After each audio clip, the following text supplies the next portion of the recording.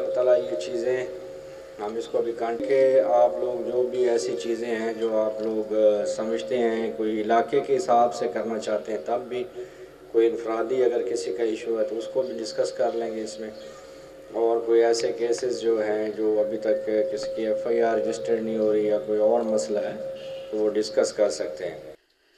DPO Bhakkar captain retired Mohammad Ajmal Kharal ने थाना bell में खुली कचहरी का इनका किया। कि आप लोग जो भी ऐसी चीज़ें हैं, जो आप लोग समझते हैं, कोई इलाके के हिसाब से करना चाहते हैं, तब भी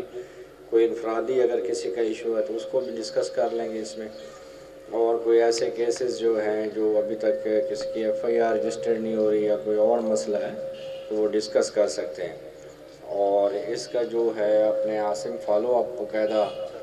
तमाम खुली कचहरीों का पहले का भी इसका भी ये आपने लाजमी रखना है ताकि जो अगर किसी का यहाँ पे इशू है उसका मोबाइल नंबर लें उसका आ, हल हो के तो फिर आपने मुझे बताना है कि फ़लाँ इशू था और वो हल हो गया।